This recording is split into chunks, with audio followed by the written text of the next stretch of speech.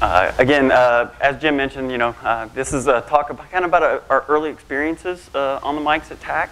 Uh, of course, you now have access to, in fact, the latest hardware that we've been testing. In fact, that hardware was just deployed not too long ago, and we're, we're really at the, the most recent software versions. So uh, you're kind of getting a, a, very taste of, of our initial experiences. But um, to set the context for my talk, I want to talk a little bit about the system that we're going to be building. Uh, the system is actually about to begin construction. It's going to be called Stampede. It's going to be a 10 petaflop system uh, in total. Uh, two petaflops uh, conventional cluster. This will be a Sandy Bridge based system. Uh, and then eight petaflops of the MIC coprocessor system. we do have a five petaflop upgrade planned in 2015. we'll be adding some additional future versions of the Knights cards. Um, couple of other little few highlights. We've got 14 petabytes of, of total disk on the system. Uh, it'll be 200 terabytes plus of RAM. Uh, 50, it'll be all FDR InfiniBand. In fact, the, the systems you're on right now have FDR InfiniBand on them.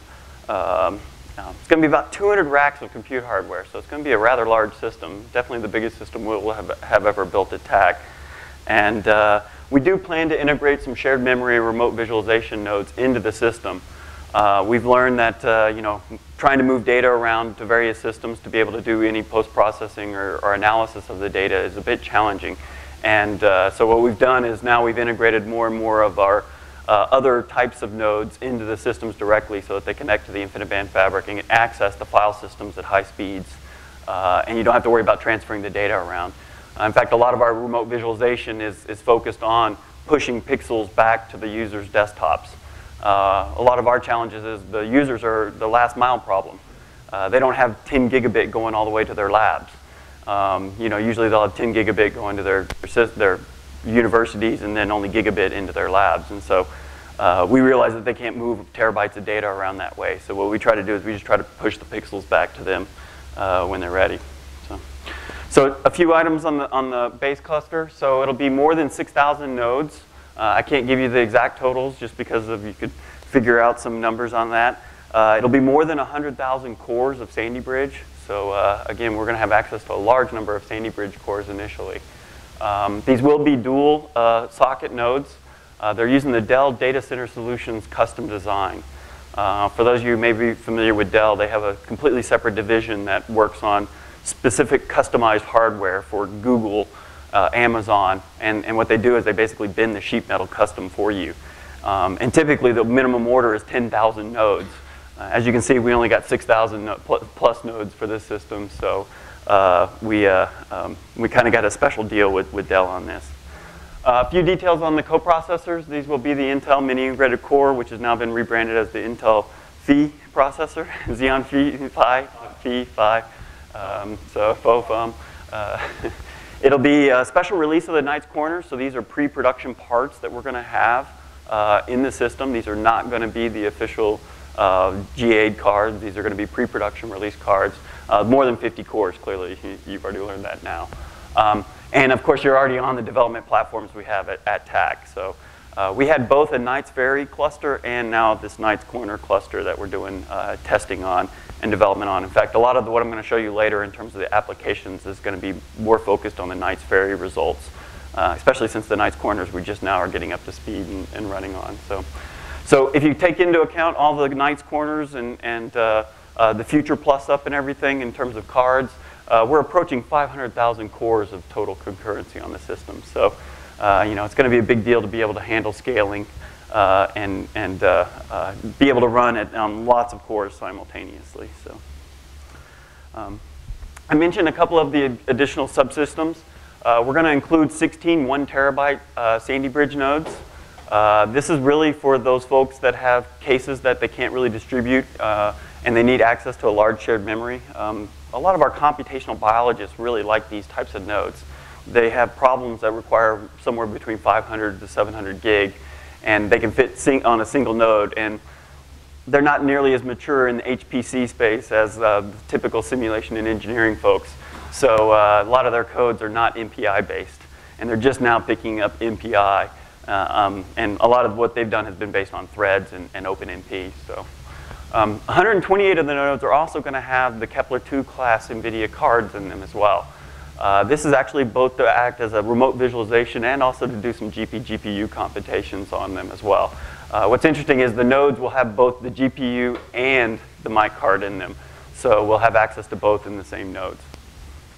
Um, a few details about the storage subsystem. Uh, it is using Dell DCS nodes. Basically, what's interesting is, is, is, all of the hardware, except for the login and management nodes, is using all the same chassis. Uh, and it's literally, we just plug in, in different sleds into the chassis uh, that Dell has designed in here. And, and, they have different form factors of the chassis that you can install. So um, we're targeting about 150 gigabytes of total aggregate bandwidth for the file system. Uh, and uh, like I mentioned, it was already more than 14 petabyte of capacity. So we're going to have partitioning of the disks into multiple file systems. Uh, one of our modes of operation recently has been that we, we like to have a couple of different Lustre file systems on uh, each of the systems, and this gives users access to different things. Uh, number one, we'll usually have a work file system that we have quotas on.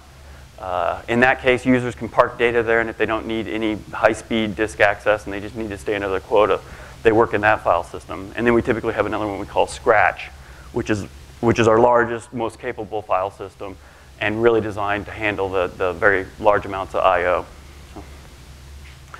So, of course, with such a system, power and, and cooling is, is really one of the biggest things in the system. So um, the actual compute part of the fabric will be 182 48U racks. So these are actually the little bit taller racks. Um, after we do the upgrade, we'll be exceeding about 40 kilowatts per rack. So um, in, in, this case, we wanted to take a less risky design in terms of the cooling, so we're using APC in-row cooling. And uh, the 2015 peak power is going to be 6.2 megawatts. Uh, so pr pretty, pretty large amount of power to, to, to run the system. So um, to give you an idea, our current largest system, Ranger, uh, is running about 2.4 megawatts right now. So. Of course, to house the system, we had to expand our machine room. Uh, we, are adding 12,000 square feet of, of new raised floor uh, to the existing machine room. In fact, the original machine room was designed to be expanded because we fully expected to uh, grow. Uh, so basically, they were able to come on, add on to our existing machine room, put up a temporary wall. Um, in fact, that temporary wall is going to be coming down here in about, I think, another week or so after they commission the building next week, or commission the new part of the machine room next week. So um, we're adding about six and a half megawatts of new power, raising the total IT power to almost 10 megawatts in the center. Uh, if you include in all the cooling and additional chilling equipment that's going to be running, it'll be about 12 megawatts of total power uh, for the whole facility. So, um, as I mentioned, we're using the APC in-row cooler hot aisle containment uh, design. Uh, this was chosen more for less risk. It does increase the footprint of, of the system, but it's, it's known technology. It's something we've already deployed. And with the rapid deployment we had to do for this system, we wanted to reduce risk in as many areas as possible. So um, we are going to replace our existing chillers that have been cooling Ranger with uh, new, more efficient uh, water cooling towers. Um, one of the challenges on our campus where we're located, there was no more chilled water from the central chilling plant. Um, well, the facilities people took this uh, opportunity to say, well, we just need to build another chilling plant on the campus. So uh, we're, we're basically subsidizing a much larger chilling plant that's going to be able to supply, supply more of the campus with, with chilled water as well. So, um, a couple of items on the da new data center. Um, one of our challenges is we, we have very we have a different charge rate if we exceed a peak power limit uh, on the campus. Uh, there's an additional surcharge should any day we go over some peak rate for, for the city of Austin. So one of the ways we're going to reduce our peak power is we're going to use thermal storage during the day. Uh, we'll be able to run, uh, uh, turn off the chillers and run on the thermal storage for about six hours during the day. It's a 1.2 million gallon tank, a very large tank, uh, and I think it's, we about use about 200,000 gallons an hour uh, to be able to provide all the cooling. So our plan is basically during the peak, peak of the day from about noon to 6, uh, we'll, we'll run on the thermal storage, um, and then at night we'll run the chillers and recharge the thermal storage at that time. So. Um, we did explore some modular alternatives. You hear a lot about pods and, and, and, a lot of these things, and we knew we needed to do a rapid deployment, but we looked at these different facilities, and really they were not really cost effective uh, compared to site build. Uh, the other thing is the university likes to build infrastructure that's going to last a little bit longer than, than uh, just you know one system. So we did try to design that we would support multiple systems in this. And, um, another nice thing is we were able to leverage the fact that uh, since we're adding some building space and, and adding square footage to a building, it doesn't, doesn't cost as much as uh, uh, um, once you're already building. It's, uh, we, we expanded our training facility, so we added another training, training room to support the additional activities at TACC. So um, this is just a, a, quick little diagram of the system. Um, if you look up here to the right where Ranger Longhorn is, is noted, that's our existing machine room. Uh, all of the, the gray portions over here to the left is all the new facilities that they're adding to the, uh, oh, thanks Glenn, perfect. Um, so, so Ranger and Longhorn are existing here. This was about uh, 6,500 square feet of machine room. We're adding the 12,000 square foot here. This is the new training room located here. Um, to support everything, we had to install, this is the new chilling towers and, and central chilling plant. Uh, this is the transformer yard to supply all the power. Uh, and this is the big thermal storage tank. Uh, if you notice, the thermal storage tank's about four stories tall uh, in terms of, of, of, building. It's actually taller than the, the, the cooling towers. Um, so, uh, um, uh, yeah, so we're, we're pretty excited. It's, it's, it's been a pretty rapid construction process. In fact, they just broke ground last November. Um, in February of this year, they were literally pouring the slab. Uh, so here you can see this is our existing machine room where they had already knocked down and pulled off all the brick off the wall. Um, a month later, they literally had the whole shell in, all the structure closed in. Um, and this is actually the, the current layout of, of the system and the way it's designed. So basically, this is the entire length of the new machine room, all the chill water and supply lines. Um, and basically, you have chill water running down each one of the hot aisles, supplying the in-row coolers between each of the racks. So uh, um, but that's, that's how the layout is. The big, big core, these are the big core switches. We'll have eight core uh, InfiniBand switches, uh, FDR switches from, from Mellanox. Um, a month later, uh, in April of, of 26, you can see that they're almost done. They had bricked up the entire outside of the building. They still had this big door here to get equipment in and out of the machine room as, as uh, they were continuing to construct it. Um, a month later, they had the chilling towers done. You can see the beginning of the thermal storage tank here. Uh, this is the, the central utility plant that they added as well to, to run all the chillers and equipment. And, uh, and then at the same time, this is actually inside the machine room. Uh, about a month ago, uh, the in-row coolers were all in place. You can see these are the in-row coolers with the filters on it. Uh, all the bus ducts and power and everything was installed. Um, the, the, nice thing is, is next week we actually get uh, the whole system energized. Uh, it's going to be commissioned. They're doing load testing on it right now. So we've already got chill water circulating. We already have power in the room. And racks of equipment are already arriving. In fact, I, I got a note the other day that 25 pallets worth of equipment had arrived, 20,000 pounds. So, uh, so I'll have some, some fun when I get back. So. Um, just as a comparison, this, is, this was the Ranger in our existing machine room with some CRAC units and, and uh, additional facilities. And then this is our new expansion here. Um, this was prior to our change in layout of Stampede. What we did is we actually, we wanted to use this space and leave these rows empty to be able to put equipment in later. So, uh, we do have a UPS as well to, for all the uh, storage equipment, um, and all the battery banks are located here uh, down in the southern portion of the room. So, so as part of our transition, and, and we understand that MIC is a new technology, it's going to take a lot of effort to educate and train users for this. Uh, in partnership with Intel, we hosted a highly parallel computing symposium uh, in April 2012. Uh, this was actually an uh, extended prior series from Intel uh, that, that they sponsored. We had 100 plus attendees show up. Um, in fact, we, we actually had to turn away folks because we didn't, didn't, didn't account for how many folks we, we needed to, to, uh, to for. We had invited speakers from Intel. we also had some submitted papers that were peer reviewed for, uh, for primarily for MIC and a poster session as well. So um, in conjunction with that, we also had a programming tutorial with about 30 attendees and we, we focused, we didn't have access to MIC at the time for all the attendees, but we, we got a couple of 40 core nodes so that we could start doing OpenMP and, and uh, uh, vectorization training uh, for those attendees. And we do intend to make this an annual event every April. Uh, so keep your, your, eyes open if you want to come over and, and visit for the next uh, uh, HPCS symposium that we'll have uh, next year. So, um, mm -hmm. Yeah, we should have our system up and running at that time too. So, um, so at the conference, um, a lot of the effort was focused on Knights Ferry at the time. Uh, most of the people only had access to, to Knights Ferry's cards. Um, we did have six papers describing their code porting activities. Uh, ENZO is a astrophysics code. HOMME is a, a weather code. Um, of course, there were some CFD and chemistry codes as well uh, presented there. So um, we also, interestingly enough, had the MVAPICH group out, and they were talking about their MPI port to uh, the Knights Ferry card as well.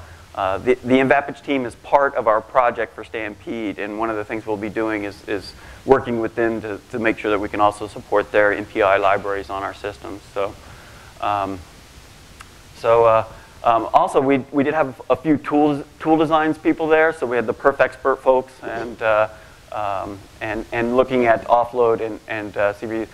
All the talks are available online. If you go to our website, uh, I think there was a subsection, and I think the, the agenda and all the postings for the, the talks are, are available there. All right, so just uh, I'm going to talk more about on now some of our efforts and our experiences. So uh, uh, for, for our initial Knights Ferry uh, programming experiences, um, first thing was codes port pretty easily. Um, in fact, I think some of you have already probably taken your codes and got them running on the, the Stampede starter system. I, I talked to a few folks yesterday that said that pretty much most of the stuff compiled right out of the box. Um, that wasn't necessarily true with the first software stacks, um, and it took a little more effort. But you know, it took us literally minutes to maybe days uh, to get uh, all the codes ported and running onto the Knights Ferry cards. Um, and in fact, those that even took days were primarily due to library dependencies you'd have to build all the various libraries. In fact, uh, I was talking to one of the attendees yesterday about Boost, libboost, libmesh, uh, you know, all these uh, other libraries that are required to build many of the application uh, packages. So um, the ch challenge is, though, is that performance, really to get performance out of these cards requires some effort. Uh, it's easy to get the codes running on there, but it's important to really look at the performance. Um, and of course, while the silicon continues to evolve, evolve we're, we're still focusing on how to get performance out of these things. Uh, the nice thing is, is that scalability is, is, on existing in the early parts was very good. Um, and in fact, I have several examples that show that, that scalability. So, um, to give you an idea, we focused on some of the codes that we use here at TACC. Uh, bioinformatics, atmospheric reentry, uncertainty quantification code. These are actually two projects uh, that, that we uh, have researchers at TACC uh, working on. Uh, a little finite element CFD code that was also developed uh, by one of the researchers at TACC, uh, and then a simple lattice Boltzmann uh, code. So the first application was a bioinformatics application. Uh, this is a SNP uh, plant. Um, it's basically a correlation of plant genomes, genes to observables, so that you can correlate the genes to height, size, and plant, plant characteristics. Uh, it's a relatively short code, really only containing one parallel region with about 500 lines, so it's not a very difficult code. Um, but was, what was nice for us is that basically we saw perfect scaling with the OpenMP because a lot of the data could be held in L3 cache. So, um, but basically this was an old Python code uh, with some R in it that we, we had rewritten to, to speed up as, as part of the iPlant project. Um, and then this was the scaling. So so uh, on Knights, Knights Ferry, the code compiled right away. Of course, your mileage may vary on that. Um, we ran it directly on the MIC, and you can see we had actually almost perfect scaling up to, to 30 cores.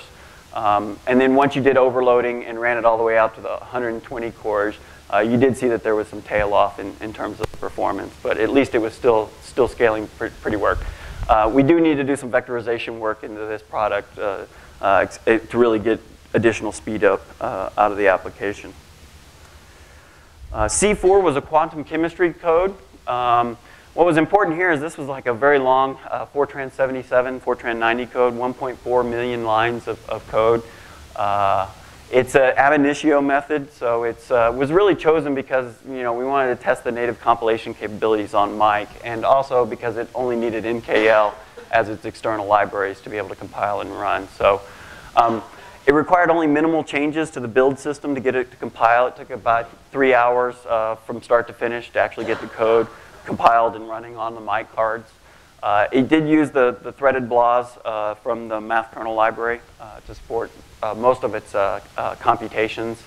Um, the downside is, is this one actually is an out-of-core method, and so it requires a heavy need for I.O., which was not really what we were focusing on for this initial work. So, um, but we're going to look at some future work on offloading the key linear algebra kernels. Um, so we also looked at the MKL offload, so you're going to get a little bit more about this today. Uh, a lot of our folks use PETSc uh, as a base library to build their applications on as well, and so we wanted to make sure that we could build this and run this. Um, and we, we recently tested this against the pre-production MKL on Knights, Knights Ferry. Um, and basically it was just a simple matrix-matrix multiply that we were testing. But the neat thing was is that we were actually able to get PETSc to compile um, and get some performance results uh, with automatic offloading. So um, what you can see here is, is you get a pretty good speed up. It does tail off once you get beyond the 30 cores or 30 threads uh, up to, the, I think this was run out to 90 threads. Um, there was some overhead with the thread creation, so we also wanted to measure performance without the overhead. Um, and as you can see, you only had 6% overhead for threads at four threads, but you, you did have a, a, pretty large amount of overhead when you were creating 116 threads with the automatic offload. So uh, something to keep in, in mind. Uh, I think this will improve uh, with the next generations of silicon uh, and so forth. So. Um, we also, FFT is used uh, quite extensively on a lot of our applications, so we also wanted to see how FFT does. Uh, and, and, specifically, we are looking at this in a direct numerical simulation uh, code. Um, what we did is we took FFTW3, 3.3, and compared it directly with MKL. And as you can see, MKL is, is pretty much uh, able to outperform FFTW3, but we still have a lot of folks who, who build on, on FFTW3, so we wanted to see the performance. Um, and uh, we figured that the, the MKL was actually doing a little bit better because it has the improved vectorization. I have a feeling the FFTW people will probably be doing some work, but you can see that we were able to uh, pretty much, uh, MKL was outperforming sometimes by 2x what FFTW was, was able to do, even all the way out to, to 120 threads. Um, however, it was important to get the affinity right um, to get performance out of this. In fact, uh, some of this was discussed yesterday about setting of the, the affinity settings on, on the many-core processor. So um, what we did is we did some baseline results and compared uh, three different uh, affinity settings that were available at the time. I think this was even before balanced was an option, which I think is now an option. So this, the Knights Ferry didn't have this. So we were testing the scatter, compact, and explicit. Um, for these runs, I, I think pretty much uh, we, we saw that uh, scatter provided the most, uh, in general, uh, performance improvements when you're all the way out at the large number of threads. Um, so uh, uh, it's something to keep in mind that you want to test various affinity settings with your application because it, it is going to be application dependent. Um, but yeah, so we had scatter providing the best overall performance uh, in general. we also did looked at the, the scaling of the FFTW um, kernel.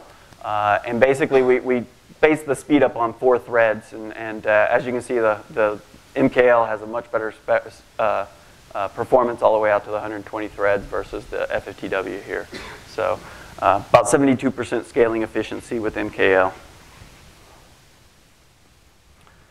Um, uh, switch gears a little bit and talk a little bit about finite element code. Um, this was a, a, a, code that's been uh, in development for many years now. It's really MPI-based code. Has great scaling uh, on MPI.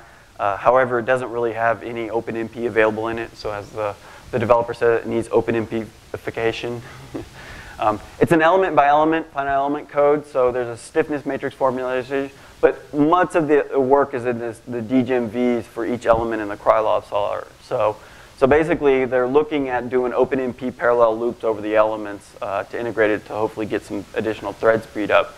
But what they wanted to really look at is now, since it's really based on DGEMV, and they had their both own implementation of DGEMV and uh, compared it with, with MKL.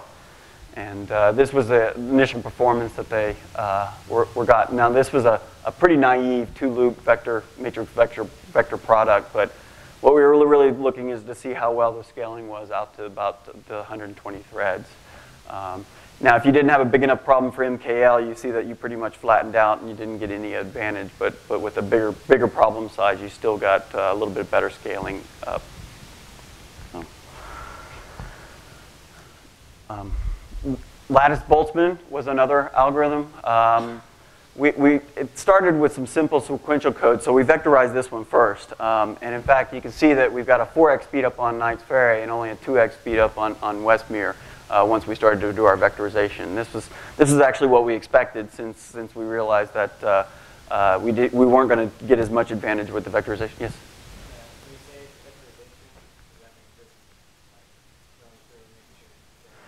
Make sure the Intel compiler, make sure you have all the vectorization dependencies. Uh, in some cases, uh, you had to put pragmas to make sure that it vectorized certain loops. Uh, it did take some changes in some of the loops to get rid of some dependencies so that you, we, we, could vectorize it. So uh, that's what I meant when I, I, I said vectorization on this. So um, they also added OpenMP on the outer loops. Uh, it's not heavily optimized. Uh, they, they do think that they can improve the, the speed up. Uh, they still have to do a few things here. Uh, they're, they're running natively right now, but they want to do an offload version as well. Um, and of course, this is an MPI-based code, so they want to, of course, do MPI on CPU plus offload uh, of, the, of the distributed version for performance. Again, here they looked at different uh, affinity settings, and as you can see, at, at small thread counts, there's a pretty big difference in the compact and scatter uh, uh, in, in, some of the cases. Um, we got pretty good pretty good scaling on the Westmere and then took that out and then ran it. You can see that when you got up to 30 cores, you're pretty good, but then it, it really did start to tail off uh, as you overloaded the, the, the, the cores. Um, and then this was in C.